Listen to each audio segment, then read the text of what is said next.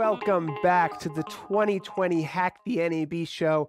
As many of you know, the 2020 National Association of Broadcasters show was canceled in Las Vegas, Nevada. Usually a time where we get to meet all of our colleagues and peers. Sad to say, the COVID 19 uh, pandemic has shut down that conference, but we're still bringing you over 20 interviews with streaming experts. And I have with me the lead engineer of PTZ Optics, Matthew Davis.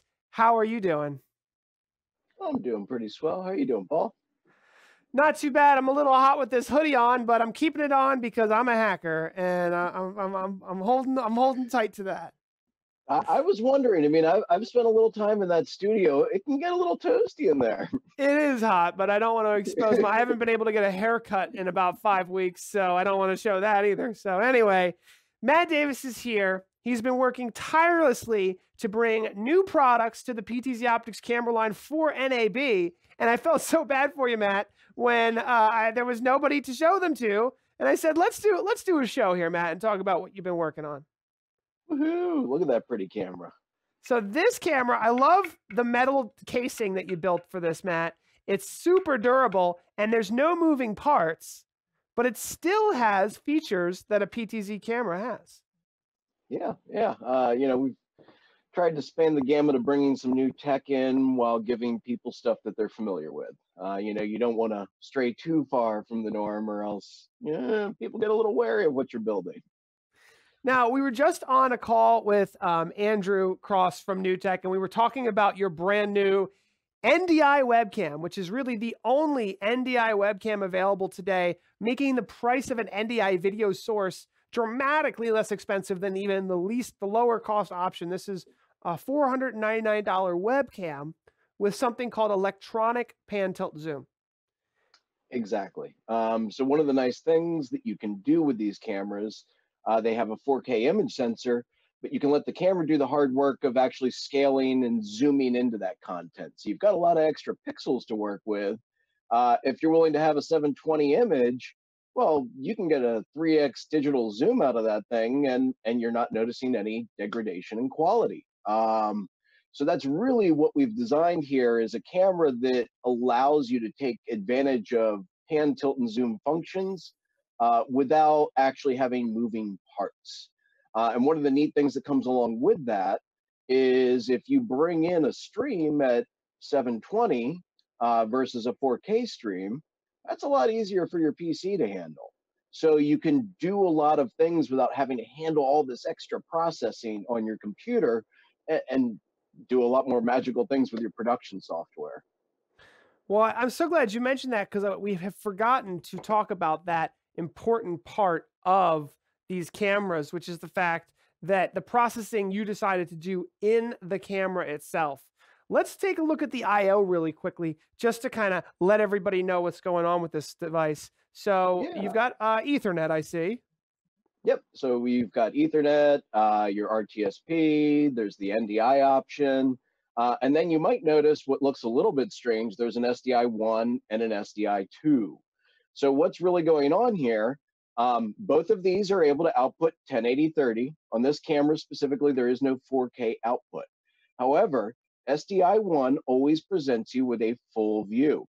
SDI2 can be an ET, PTZ view. If I got that reversed, feel free to correct me, Paul. Oh yeah, one one is, one is the wide view, and we'll show that in just a moment.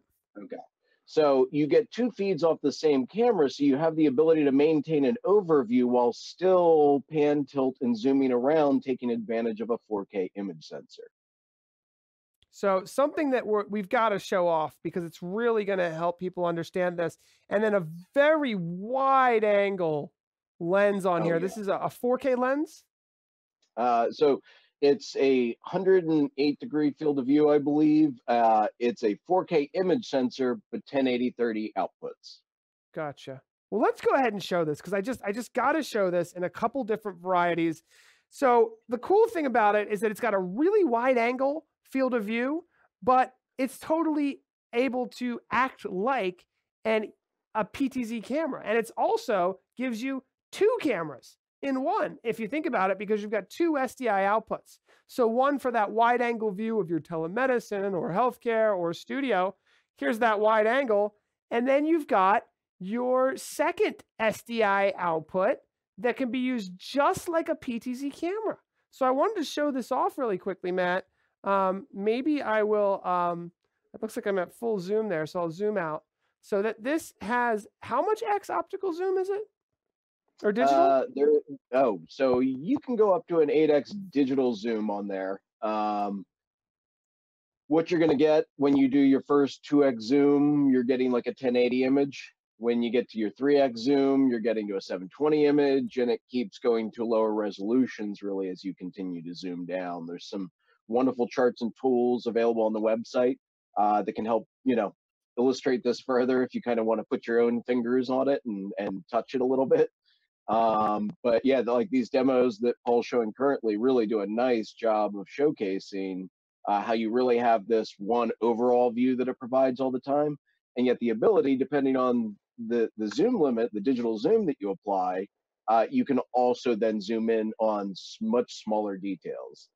I see. So what I just did there, because I was wondering why why am I not able to zoom super far in? So you can set up zoom limits in the menu. And I noticed that there was a zoom limit set at 1 to 3x. And the reason why is because if you're using a 720p um, system and you want to limit the output to just be um, you know 720p and not go further, that's where that that limit comes in. Um, so I'm going to move it to 8x because I really think for what we're doing, it's it's it's nicer to show that um, that 8x digital. So Mike, let me see that again. I'm going to set a couple presets. Now, Matt, I just noticed it has auto framing built in. Yes. Uh, so this, uh, similar to our uh, HuddleCam uh, webcam that you were just showing off, that's NDI. This also features auto framing capabilities. Um, so if you were utilizing it in a small space and you just wanted it to constantly kind of track an individual or a group of people, it will constantly try to frame them. So it it again can take a little bit of a load off the production uh, when you enable features like that. Very, very cool. Let me um, go ahead and so when auto framing is on, you don't have control over the camera. So I'm going to turn that off for a minute here. And I just want to show a couple PTZ pre, uh, movements with this camera. So let's do a preset. So I'm going to go ahead and hit set one. My preset one will be this camera. And then I'm going to go ahead and set one over here, set two. And then I just want to show. So basically those are presets. I'll do one more that's maybe a little bit more zoomed out. And again, no moving parts. Michael keeps showing this. Two SDI, it's good, but two SDI outputs and a power over Ethernet port. I mean, what more could you ask for? And actually, your example there, where you're showing both, shows off a really um, unique aspect when you think about using this camera. When you were showing it, you had it split. There we go, SDI one and SDI two. Really, if you think about, you're probably doing a 1080 production here. So if you think about that, might be a quarter of the screen. You're looking at what 480. So if you were really using this for a live production or post production, you know that you could set that down to like a 4x to 5x limit without actually losing any quality as far as the end user is going to see. Yeah. And that's the amazing part. And for from a production standpoint, if you need to be able to zoom in, I mean, think about this. And this camera, by the way, I'm trying to think of the price point here um, it's not that expensive. The fact that you get two SDI cameras for the price of just one of these, I think is only five ninety nine or something like that. I can't remember. I'm trying to look yeah. it up. Matt's gonna look it up, but it's it's definitely less than a thousand. I know that. I think it's like five ninety nine or something. I can't remember. But let me show a preset. So I'm gonna go ahead. This is the iOS app. Uh, there's an iOS app. There's an Android app. There is a Kindle app. And then, of course, you can control this camera with vMix, which I'd like to show. vMix, Wirecast, OBS, all of those will work. But let me just here, I'll just hit, I'll hit a button, which we'll call a preset.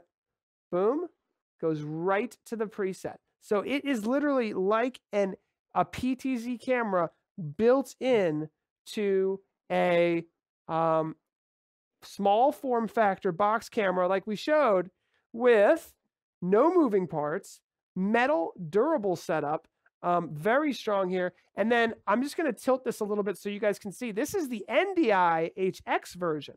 So that's the hacking part uh, that I wanted to talk about. But Matt, I almost forgot the most important thing of this show was the hacking side of this this interview. yeah. Um, but Yeah, but we do we do have something cool to talk about there, I must admit. but I guess since we're into the camera real quick, let's can we give Michael the opportunity to show this camera zooming in with with vMix? Could you do that, Mike, with Yeah. one of these 20x cameras back here, or, or do you not have anything set up over the shoulder? This should be intriguing. I think I got rid of it. All right, we'll do that. Uh, you could might be able to use the top camera for it. No, it's not. It's fine. Uh, we'll sh- we'll show that another time. Unless you want to here hit here hit this desktop capture here. Okay. All right, so Mike's gonna Mike's gonna add the, a 20x to use for that. Um, I don't remember the the camera of it, but while while he's adding that, because what I, I think it's important to show how easy it is to control this camera directly in vMix, directly in Wirecast, the TriCaster. Yes, you can use a smartphone, but having the ability to have that IP control directly in a um, in your favorite video production software just makes that one man production or that simplicity of clicking a button to move a camera just I think that much easier. So price wise, uh, you're looking at a MAP price for the standard unit of 499 Wow. and for the NDI model 899. Wow. Very affordable. All right, Eric. Eric's saying he loves vMix. Um, Dean is saying perfect for that like safety shot, and that's a lot of people have been saying too. That I've been hearing is that one SDI that's just got that safety shot, um, and it, it's very easy to set up. Um, very interesting with the auto framing. Um, so we'll have to test that. We showed that off in our last um, in our last live demo, and the price is really awesome for what you're getting. That's what people are saying. Uh, is there any Bezier movement in the keyframes? No, there is not. Okay. All right, Mike's going to show us the. Uh, okay, so here we are with vMix, and now Mike, go ahead and open up. Okay, so Mike's going to open up that camera, and he's doing a little color correction. Uh, so show the the, the, the EPTZ. Um, sh- just open the uh, the EPTZ uh, camera input in vMix. I think it's like nine or something or ten, um, and then just show how easy it is to control it with vMix. So, um, and this is the same with Wirecast and similar. Uh, it's it's that one there. So there's a little PTZ controller. there. Here, move it over here so they can see it a little better. And so this is like a PTZ controller, and then go ahead and zoom in. And you just have complete control right through vMix. So Matt had to do a little uh, firmware updating to do that. Uh, the, in fact, I think that the first units might need to update their firmware. Huh? Uh, I think we'll be good on that actually. Okay, good. So you got the zoom it in, and then you can pan it around. yep, as soon as you zoom it in. Now let's create a preset. All right, cool. So we're going to create a preset and then just move it a little bit and create another one. And that's how easy it is to just click buttons and zoom around. And, But then we'll do- and those create new inputs inside of vMix. For those of you who are now, you do need the 4K or greater version of vMix to do this, which is why I do think it's pretty incredible that um, you do have the ability to build stuff like this into OBS for free. So if you're not ready to step up to vMix yet, we have OBS dockable controllers that also work using the HTTP CGI command. So talk about hacking a product there. I tried to get the OBS guys on this live stream today. But Matt, tell us about this this hack that you have prepared for us. Yeah. Um, so this, I think this was more one of those wow, you really did that scenarios. Like it just, whoa. Um, so Dead Mouse 5 or Dead Mouse, depending on how you want to pronounce it, um, built this amazing spinning cube. And the concept was to mount PTZ cameras to this spinning cube. And that as it spun, the cameras would keep their own synchronization to be able to point properly.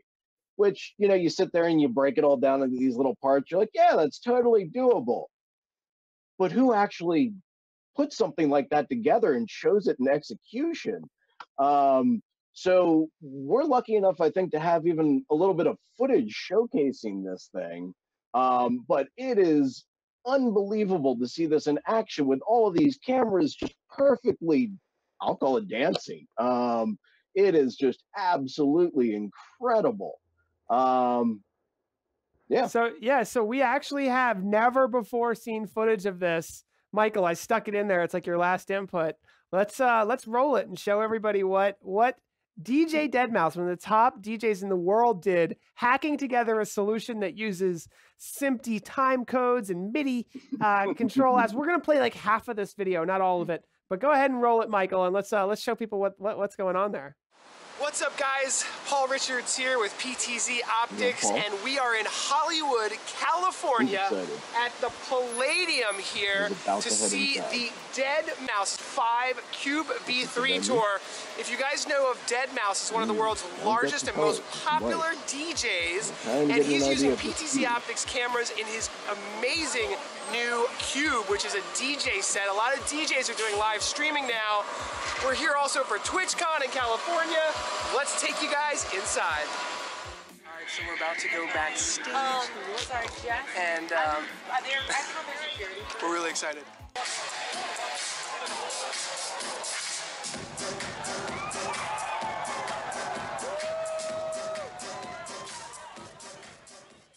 Hey, I'm Connor, I'm with CSP, and I'm explaining the cameras for the Cube V3.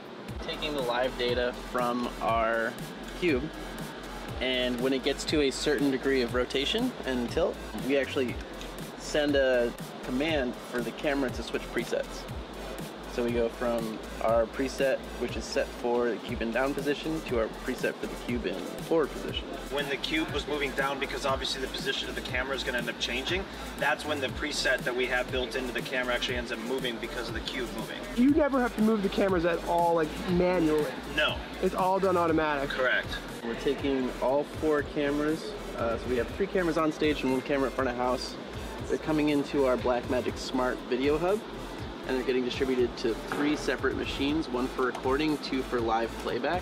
We record all four cameras uh, for every show, and then the other three cam all four cameras also get sent to each of our playback machines. You, that's live video in there? Yeah, that's live video. So as you see, I move it on the back screen, you can see. Inside Touch Designer? Yep. I've never seen that.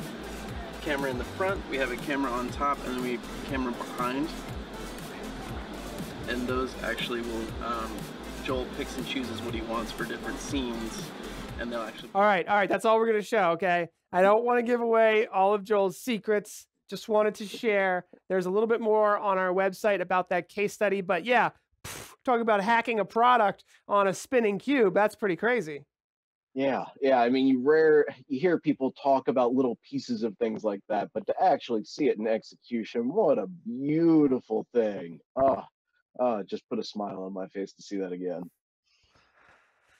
So, Matt, so much has happened. Um, I want to ask you a little bit about the effect of COVID 19. Uh, you know, uh, Andrew just talked about it pushing the video industry forward two, three, four, five years. Um, how has it changed your perspective on what products that you're designing and engineering, and and what you're thinking about for the future? Obviously, you know, we released some new cameras. People are getting their hands on, getting to see those live demos. They're going to be shipping end of this week, next week, really soon. But what what what has inspired you? What have you seen out there? Were there any is there any silver lining? Are there any good things that we could talk about? Um, what are you excited about for the video industry? It would have been nice to go to NAB and get our hands on all this technology, but uh, at least we're here to live stream it. What are you excited about, Matt? Yeah, um, so I think a couple people have touched on this. Um, I feel like yes, it's accelerated things, you know, three to five years, and that's awesome from a making product, making solution standpoint. You know, we've been sitting here preaching for five years, ten years, who knows? Some people much longer than that, saying this is the way it's going to go. This is the way it's going to go. Isn't you know? Get ready for it. Get ready, and it's it's been it's been building over time, but I, you know This has made it happen overnight. Um, and what's really intriguing from my own perspective, I feel like is taking that step back and we've been preaching this message for so long like, this is the solution. This is what you should be doing. You should be looking at this. Well, now we're there.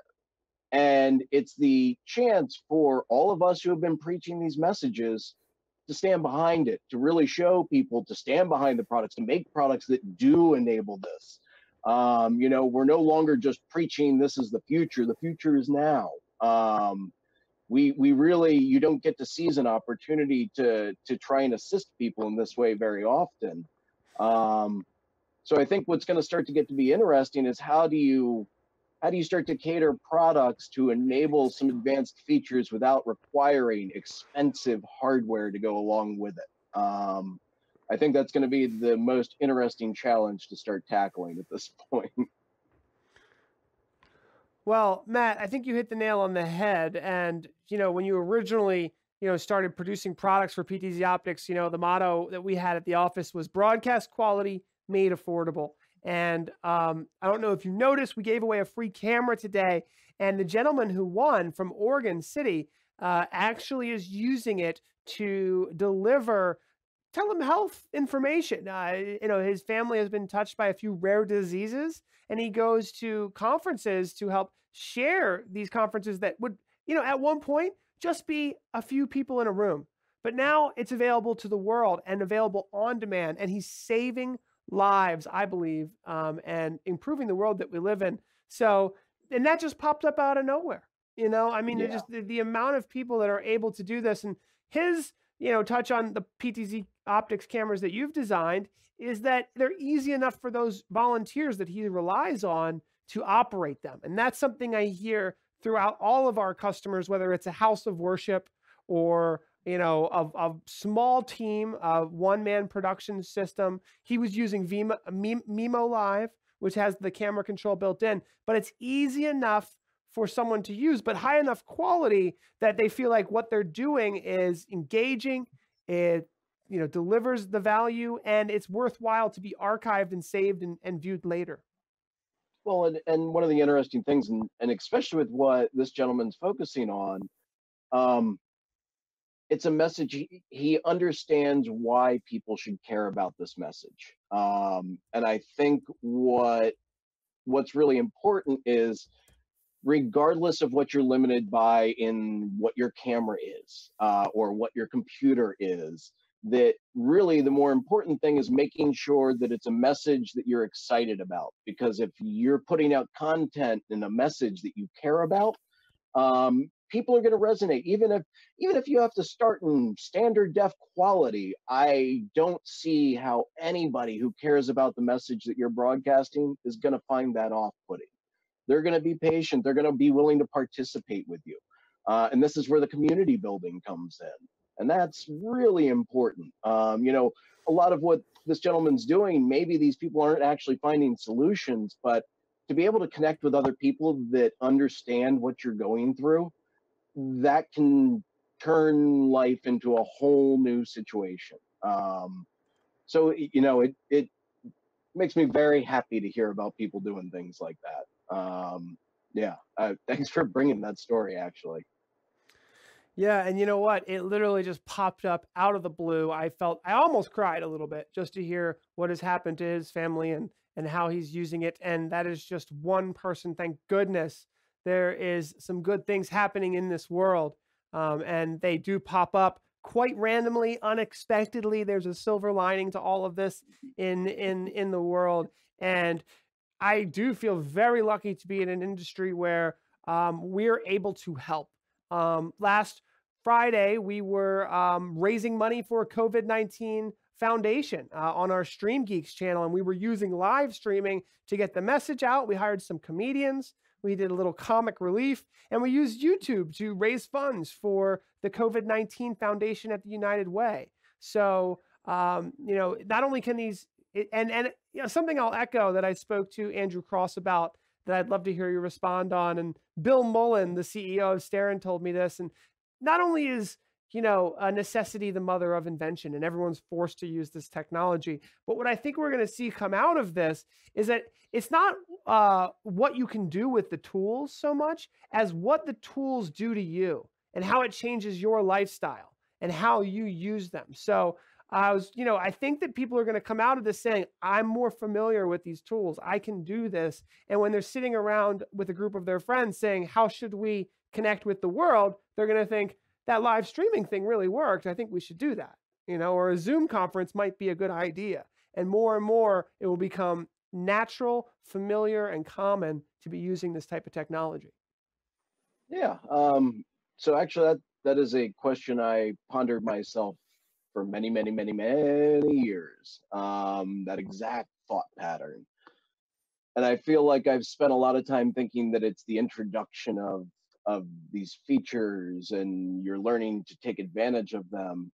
Um, but I feel like that's a two-way street, really. Um, and it's the job of those making the solutions and the products to make sure that it's a product that caters to you to some degree. Um, you know, everybody's got different ways of trying to approach things, of how they view things, of how they think a message can best be portrayed.